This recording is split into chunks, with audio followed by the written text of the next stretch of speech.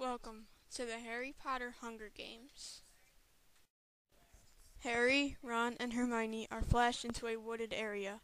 Ron, you idiot! I told you not to use your broken wand.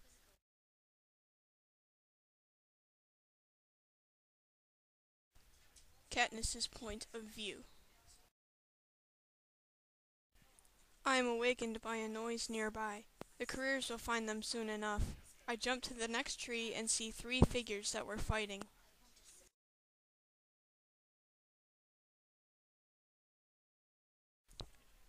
Harry's point of view. Excuse me? Excuse me. What is this place? Harry asks. The arena, the boy replies. How do we get out? You die. Run, Harry! Screamed Hermione.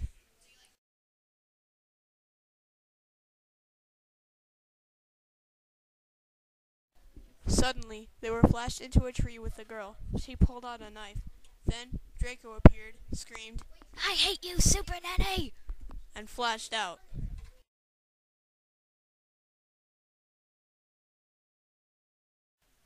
What is this place? Katniss's point of view.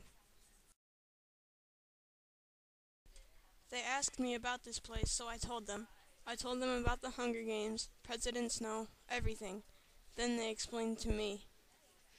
Harry, Ron, and Hermione took turns explaining about Hogwarts, magic, muggles, and Voldemort.